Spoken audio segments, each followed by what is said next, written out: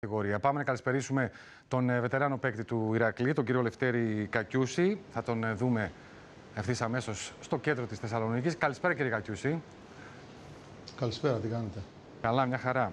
Λοιπόν, τα πράγματα βέβαια δεν είναι καλά για τον ε, Ηρακλή. Υποβιβάστηκε και το ερώτημα, ξέρετε, δεν είναι μόνο ο υποβιβασμός, είναι και το μέλλον του γιατί έχει και πολλά οικονομικά προβλήματα και διοικητική αβεβαιότητα και όχι σταθερότητα. Ναι, ε, νομίζω ότι ήταν μια πολύ προβληματική χρονιά. Το ξέρουν, το γνωρίζουν όλοι. Μια τοξική χρονιά θα έλεγα, όχι μόνο προβληματική. Ε, περάσαν 22 παίχτες, αλλάξανε 4 προπονητές, ε, υπήρχαν πολλές εσωτερικές κόντρες ε, μέσα στην οικογένεια του Ηρακλή.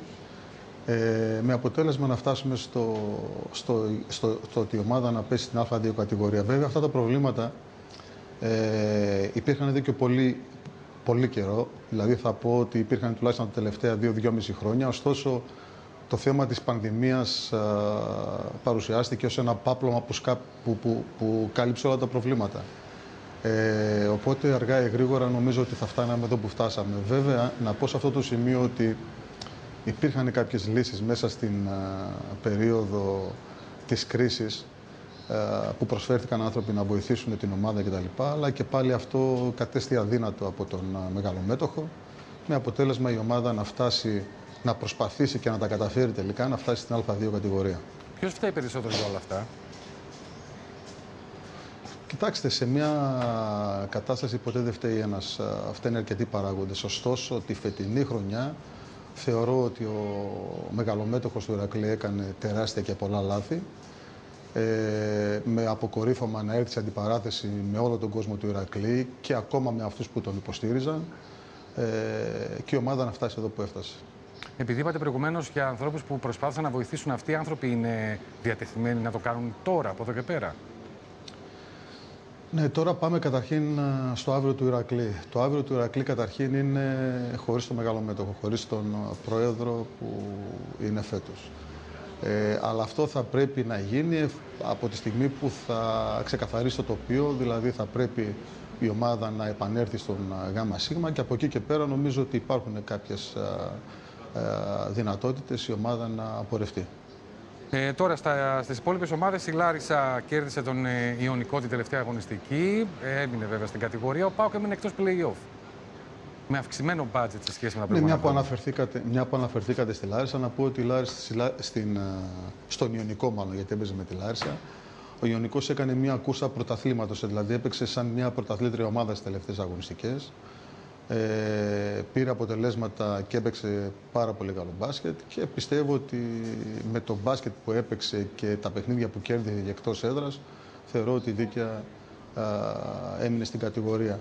Ε, ωστόσο, να επανέλθω λίγο στο θέμα του Ηρακλή, ε, γιατί ε, αξίζει να πω ότι ε, αυτά όλα τα προβλήματα που δημιουργηθήκαν και εμφανιστήκαν καθ' όλη τη διάρκεια και τη φετινή και την περσινή ε, έδειξε ένα πολύ μεγάλο στοιχείο. Ένα πολύ μεγάλο στοιχείο και τη, η, δυ- είναι η δύναμη του κόσμου, είναι η, η έδρα, είναι το ευανόφιο και όλο αυτό συσπήρωσε τον κόσμο έτσι ώστε να δείξει τη δυναμική που έχει αυτός ο σύλλογος.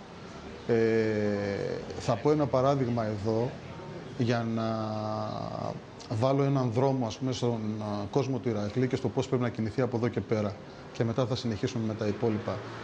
Ε, το παράδειγμα έχει να κάνει με την Benetton Treviso όταν ο μεγαλομέτωχος ομάδος αποφάσισε ότι η ομάδα δεν μπορεί να, την, α, να συνεχίσει στην ομάδα. Η ομάδα πήγε στην τελευταία κατηγορία. Την επόμενη ημέρα α, α, όλος ο κόσμος της α, Benetton, όλος ο φίλαδρος κόσμος της Benetton Treviso πήγε και αγόρασε 6 ε, χιλιάδες διαρκείας και η ομάδα έπαιζε στην τελευταία κατηγορία. Το γήπεδο ήταν πάντα γεμάτο, έκανε γιορτή ε, κάθε Σαββάτο με αποτέλεσμα σιγά σιγά να βρει το δρόμο της. Θέλω να πω δηλαδή ότι δεν έχει σημασία σε ποια κατηγορία παίζει μια ομάδα. Σημασία έχει η αγάπη και η δυναμική που της δίνει ο κόσμος να την υποστηρίξει για να επανέλθει πάλι εκεί που πρέπει να, την, να, να είναι. Και ο Ρακλής αξίζει να είναι στην Α2, στην Α1 κατηγορία, δεν αξίζει να είναι στην Α2 με τα δεδομένα που είδαμε τις τελευταίες αγωνιστικές. Νομίζω ότι αυτό είναι Τώρα, ένα να πολύ πάμε καλό λίγο στον μήνυμα ΠΑΟΚ. για τον ε, Ηρακλή. Δεν έχουμε άλλο χρόνο. Θα έχουμε την ευκαιρία πάντως να Ωραία. τα πούμε μόνο για τον Πάοκ ότι ήταν εκτός play-off μια ατάκα που μπορεί να χαρακτηρίσει τη χρονιά. Εντάξει, είναι μια αποτυχία. Από ό,τι λένε και οι ίδιοι οι άνθρωποι του ΠΑΟΚ, είναι μια αποτυχημένη χρονιά σύμφωνα με το budget. Το ότι δεν πήγε στα playoffs ήταν μια πολύ μεγάλη αποτυχία. Πιστεύω όμως ότι ο ΠΑΟΚ έχει τις δυνατότητες να επανέλθει ανά πάσα στιγμή. Να, να σας ευχαριστήσουμε πολύ. Καλό απόγευμα. Να είστε καλά, γεια σας.